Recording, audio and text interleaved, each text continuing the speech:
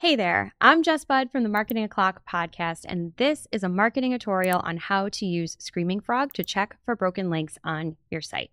So, if you're not familiar with Screaming Frog, it's a pretty amazing tool that crawls your site and you can use it to do a ton of things. And I do not have time to talk about all of them. And today I'm only going to talk about one.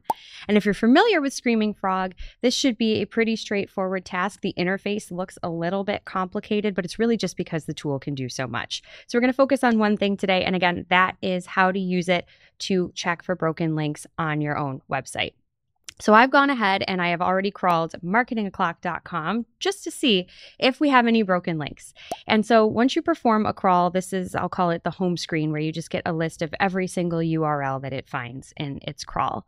So where I like to start, obviously, with looking for broken links is looking for 404 pages, because how is the tool going to find that there's a page missing? By crawling a link to try and get there.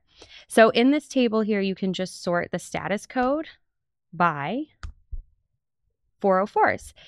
And we can see here we have one, two, three, four, five, six, seven, eight, nine, I think, unless I counted that wrong, nine 404s that um, Screaming Frog encountered again when crawling our site. So now I know I have, oh my gosh, the number's right here nine broken links to contend with. Cool. What am I going to do with that information? Well, this is where the tool gets really, really handy.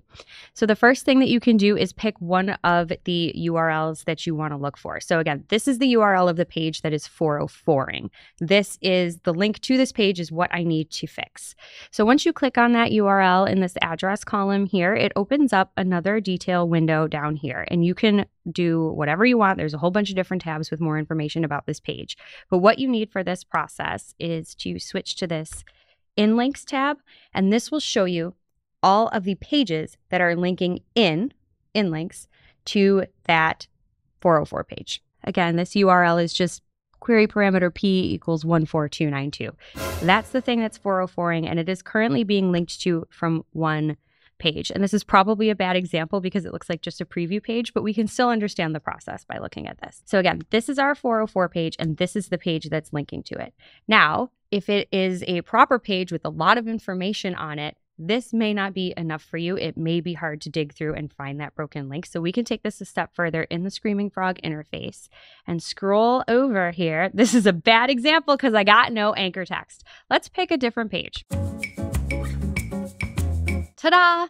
All right, this one, episode 65, we were talking about a Google bug and Facebook controls, and apparently we are referencing that somewhere else on the site. And when you click on that link, it's going to a 404 page. So that's pretty bad. But we can see here what the anchor text is, and it is literally just the whole link. But that's helpful because then you can do a control F on that page when you're in the CMS, find that anchor text, or in this case, just that link, and replace it. But if there were multiple pages linking to a 404 page, you would have all of this information for every single page in the list. So if three different pages were linking to the same dead page, all using different anchor text, or if they were linking from an image using different alt text, you would be able to see that in this table. And it is very, very handy.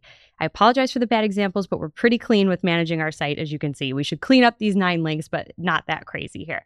But for huge sites or sites with a lot of lengthy content on pages, this can be an absolute lifesaver in uh, fixing issues with the user experience. So, very handy way to use Screaming Frog and super, super easy. You can also export this table. You can select multiple pages at a time, get a nice little table down here and export the whole thing if you want to turn it into like a checklist in Google Sheets or something to track your progress, make those changes, and then recrawl the site again to make sure that you didn't miss anything. But very, very handy, and hopefully this helps. And if you found this useful, there are a bunch of other tutorials like this one over on our YouTube channel. That's Marketing O'Clock on YouTube. And we also have a weekly news show with all the digital marketing news for the week. You're probably going to want to subscribe to that too. That's our podcast, Marketing O'Clock.